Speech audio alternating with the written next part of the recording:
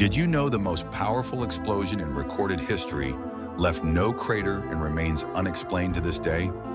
On June 30th, 1908, something detonated above the Siberian wilderness with the force of 1,000 Hiroshima bombs.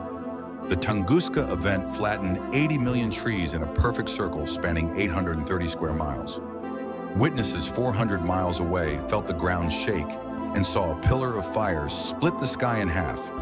The blast was so intense it created glowing clouds, visible across Europe for weeks.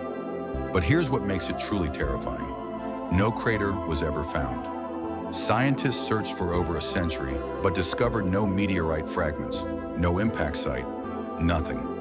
Just complete devastation from an unknown force. Eyewitnesses described the sky catching fire before the explosion, defying all known physics. Multiple expeditions have failed to explain what caused this catastrophic event. The chilling reality is this. If it happened over London or New York, millions would have died. From something we still can't identify or understand.